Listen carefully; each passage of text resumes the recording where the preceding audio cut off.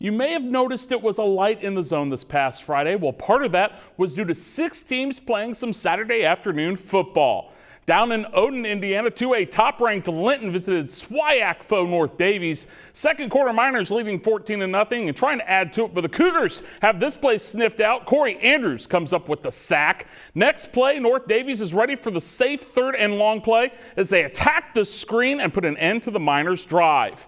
Later in the quarter now, Cougars looking at a third and long of their own when the Miners bring the house up the gut. Ty Boyd and Aiden Giles meet for the quarterback sack. Ensuing Miners possession, Linton looking at a third and five at midfield. Hunter Jennings calls his own number, bounces to the outside, and leaves the Cougars in the dust as he finds his way to the end zone. The Miners remain unbeaten, going back to Linton with a 42 7 victory.